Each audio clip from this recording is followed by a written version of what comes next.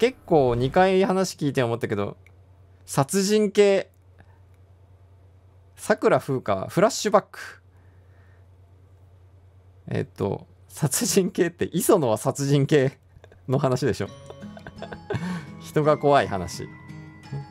まあ、別に人形の話は別に人が怖い話っていう話触れ込みで話されたわけじゃないけど結果的に人が怖い話だったよな。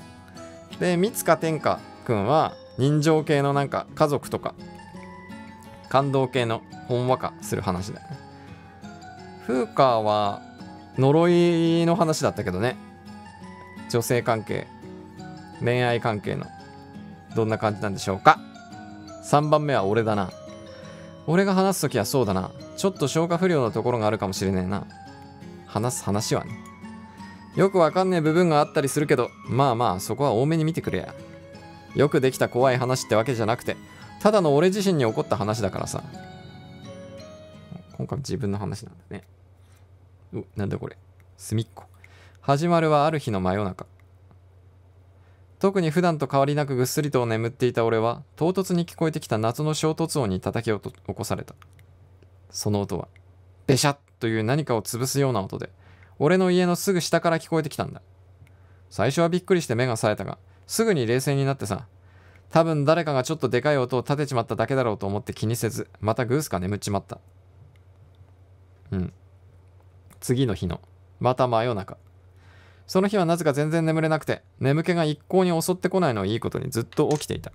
あとエアコンつけるわ。昼昼間撮ってるんですけど暑くなってきましたこういう時は無理に寝ようとすると逆効果だからな。部屋の電気はつけず手元のスタンドライトだけを明かりにぼーっと雑誌を読んでいるとべしゃだよな。昨日聞いたあの音がまた聞こえてきた。またか。誰から誰かがいたずらしてやがんのか？こんな真夜中に。いい迷惑だぜ。何でしょうかね。なんか水気がを含んだ音だね。なんだか起きる気力がそがれちまった俺はおとなしく雑誌を置いて寝床に潜り込んだ。真夜中に。ペシャ。なんだろう。さらに次の日のまたまた真夜中。そう。言わなくてもわかるだろ。まただよ。また聞こえてきたのさ。ベシャって音が。これで3日連続だ。いや。3日で終わりはしなかったよ。覚えてる限りではざっと1週間は続いた。毎晩のように聞こえてくるその音はまるで寸分の互いもなく毎晩毎晩リピートするみたいに全く同じ音だ。儀式的な？大したことじゃねえかもしれねえことでも。こう毎日続くとさすがに不気味だろ？おまけにまた今日も来るんじゃないかと思うとぐっすり眠れたもんじゃない？一体どこのドイツが騒いでやがるんだ？そう思いながらまたあの音を聞いた8日目の夜。何度も何度も同じ音を聞いちまったせいか俺は音について冷静に考察を始めていた。ほう。なんかちょうど2時になるとかさ。もしかしたらあの音ただの生活音なんかなんかじゃないんじゃねえか？まあなそんな。夜に夜真夜中に明日のなんか料理の支度をしなきゃいけなくてこうピシャって叩きつける必要があるみたいな。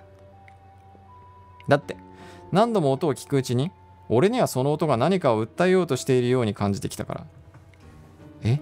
何それ？閉じ込められてますみたいな。拉致されて監禁されてますみたいな。それだったら常にやってればいいしな。毎晩のように聞いているせいで俺の頭がちょっとおかしくなっただけじゃないかって？ああ確かにそれも否定できないよ。でもさその時の俺はなぜか心の底からそう思ったんだ。ベシャッという衝撃音が俺に何かを伝えようとしてるに違いねえって。なんだろうね。音に悩まされ始めてからしばらくして深刻な睡眠不足が原因なのか俺自身にも変化が起き始めた。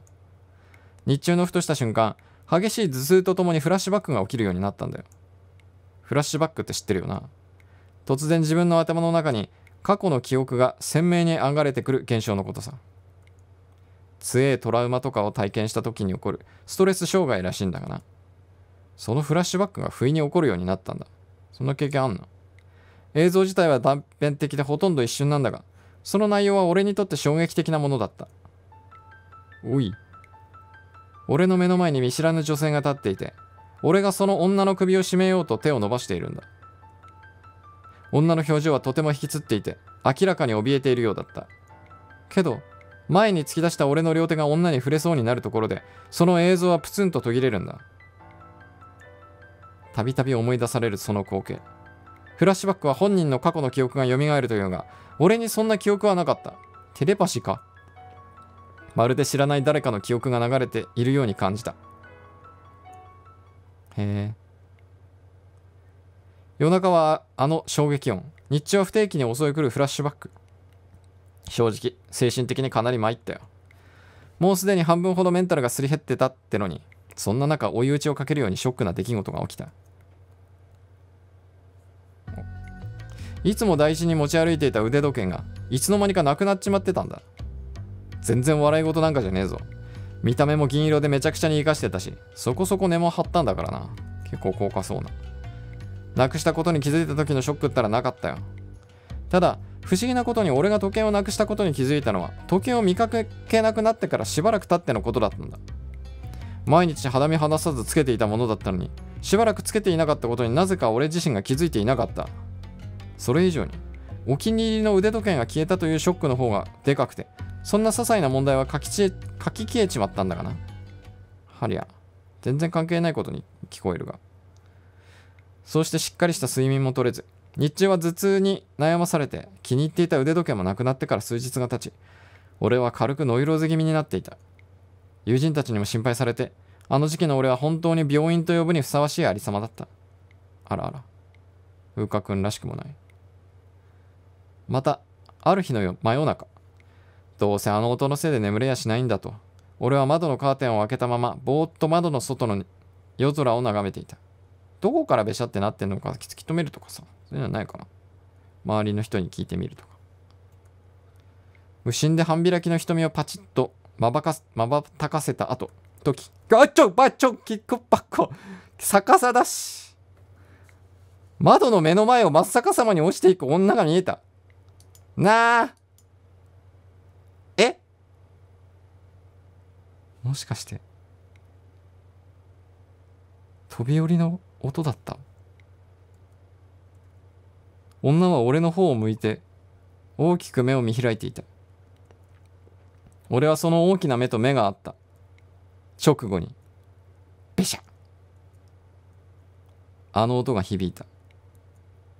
たった数秒間の出来事だったが俺の頭の中にその光景はしっかりと転写された。何かを訴えるようなあまたの感情がぐちゃぐちゃに混ざり合った濁った瞳。恐怖と驚愕があふれこぼれた口。俺はその女の顔を知っていた。真っ逆さまに落ちていった女はフラッシュバックした映像の中で俺が手を伸ばそうとしていた女と同じ見た目をしていたんだ。全く見知らぬ女のはずなのに俺はこの女を知っている。俺自身が思い出せないでいる記憶を探ろうと必死に頭を回転させてみたが結局何も分かりはしなかった。俺の身の回りで起き始めた全てのことが一本線でつながっているような気がして仕方がないのにどうしてもあと少しというところでつながらなかった。なんだろうこのアパートに住んでいる人が誰かに落とされた記憶が流れ込んできたのかな。どういうそれからさらに4日ほど経ったある日のこと。その日は学校も休みで特にやることもなかった俺は家でテレビを眺めていた。どのチャンネルをつけてもニュースしかやっていないような時間帯でつまんねえななんて思いながらも惰性で見ていた。ていうかニュースにはなってないんだ。それ自殺したニュースとかじゃないんだ。政治的なニュースや芸能ニュースが流れていく中ある一つのニュースが読まれた瞬間俺の心臓は大きく脈打った。俺の家の周辺で殺人事件が起きたらしい。映し出された被害者の写真はあの女だった。女は首を絞められて殺害されていたという。高所から落下したのか体はほとんどぐちゃぐちゃでかろうじて原型をとどめているに過ぎなかったらしいが多少残っていた首元の傷を見て発覚したんだそしたんだそうだ。犯人はまだ捕まっていなかった。ニュースを見たと同時に俺の頭は共鳴するように激しい頭痛を起こしあのフラッシュバックが襲ってきた。俺はあの女の首を絞めていた。両手にはしっかりと手袋をはめて見覚えのある場所で明確な殺意を込めて首を絞めていた。ニュースの映像とフラッシュバックした映像が交互に俺の脳内で入れ替わる。俺か？いや俺がやったのか？ありえないことだ。だって俺の中では人を殺した記憶なんかない。俺はやっていないはずだ。でもじゃあこれは何だ？なんで風花君に来てんだ？しかも。関係関わりがないのに。しかも近所ってだけ。同じところってわけでもないし。アパートってわけでもないしね。自然と心拍数が上がっていくのが分かった。けどその中でたった一つだけ気づいたこともあったんだ。俺が女を殺そうとしている場所。俺が知っている場所だった。今までは目の前の女にしか意識が集中していなかったが周りをよく見てみると確かにその場所は俺の知っている場所だったんだ。何もかもが俺の記憶にはなくそのせいで何もかもが分からなかった俺の中に一筋の光が差した。唯一自分が知っている情報をつかんだんだからな。いても立ってもいられなくなった俺は上がった心拍数をそのまま家を飛び出した。そのままに家を飛び出した。少しでも少しでも真相を知りたかったから。で殺人殺害現場に。家を飛び出した俺が向かった先はうちの屋上だ。ガキの頃はよく一人で来て自分だけの遊び場になっていた屋上だったがもうしばらく来ていなかった。俺の記憶が正しければの話だけどな。四隅にはゴミがたまり俺が小さい頃使ってそのまま放置していったであろうおもちゃがすっかりボロボロになって転がっていた。もうずっと見ていなかった屋上。俺がフラッシュバックの中で女を殺そうとした屋上。俺は深呼吸をすると映像の中で俺が立っていた位置と同じ位置へ歩いた。吹きすさぶ風が心臓の横を通り抜けていく。こめかみには冷や汗が一筋。俺は映像と寸分たがわない光景を目の前にして足が震えた。そのまま身動きが取れずゆっくりと視線だけを周囲に動かす。ん？その時俺の目の端に何か光るものが見えた。それはゴミだめの中でひときわ目立っていて明らかにその場には似つかわしくないものだった。確認しようと恐る恐る近寄りそれがはっきりと見える位置まで来た時さっと血の気が引いた。落ちていたのは俺の時計だった。やば え？絶対自分で来てんじゃん。やば二重人格的な？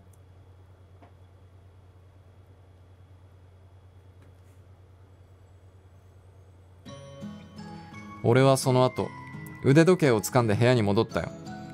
話はそこで終わりなんだけどよ。な。これは俺の勝手な推測なんだがよ。もしかしたら俺の中に何かいるんじゃねえかって思うんだ。それが何かなんて俺には分からんよ。けどもう俺もいっぱいいっぱいでさ他に納得させてくれる推測があるなら逆に聞かせてほしいよ。どう思うって聞かれても分かんねえよな。じゃあこれだけ聞かせてくれよ。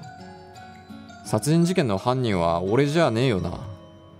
ああでももし俺だったとしたら今度もまた何かが出てきておめえらに何かしちまうかもしれない。もしそうなっちまったらごめん。ごめんって。怖いね。意味不明な話をしちまって悪かったな。でもでも嘘は言ってないんだ。それだけは信じてくれ。次行っていいぜ。なんと なんか女性にまつわる話なのかね風花くんの話は。今んとこ2話見てきて。なるほどな。いい話だったけど。なかなか怖いゾクッとする話だったな。展開が。なるほど。腕時計外したの？おかしくない？殺人現場で。腕時計剥がすの腹なんか切るのも。まあまあ何とも言えないか。次行きましょう！